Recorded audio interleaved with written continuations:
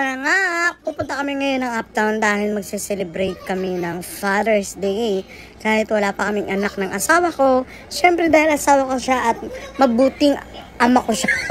ama ko daw siya. Hindi, mabuting asawa siya. So Father's Day naman, so, ititreat ko siya sa kainan. Dapat magba-Vikings kami. Pero dahil malayo ang parking ng motor doon, hindi na kami nakarating doon sa Vikings ng BGC. Kaya dito na lang kami ulit sa Uptown.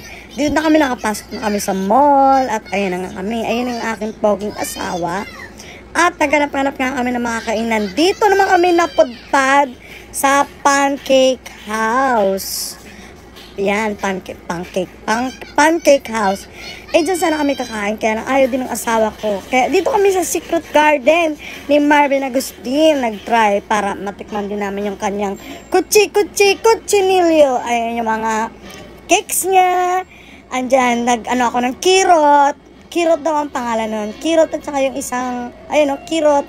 Tsaka yan, yung almond coco, roca. Ah, andaw. So, habang nagsisel pa lang ang asawa ko waiting sa aming order, ayun na, kinuha niya na ang aming order. Hay, Diyos ko, pasensya na sa aking boses dahil masakit ang aking lalamunan kakain ng sweets. So, ayun na nga ang aming mga order na kinuha ng aking husband. O, di ba Ang pogi lang ng asawa ko, ha? So, ito na nga ang aming mga mga order at kinuha niya pa yung isang order namin dahil dahil dalawang tray siya mga beshi. Hindi naman ganun kadami, malalaki talaga yung plate nila kaya yon. So diyan kami nag-celebrate ng Father's Day, madami ding tao, marami ring pila.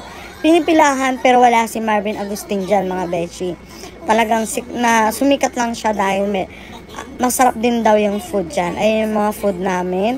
Merong ah, rice at merong kuchinillo at merong salad chuchu, ganon. Tapos, ayan, ayan yung isa pang order na cake. Ayan yung favorite ko. Ito naman yung carrot cake. So, tikim-tikim lang mga beshi. Salamat!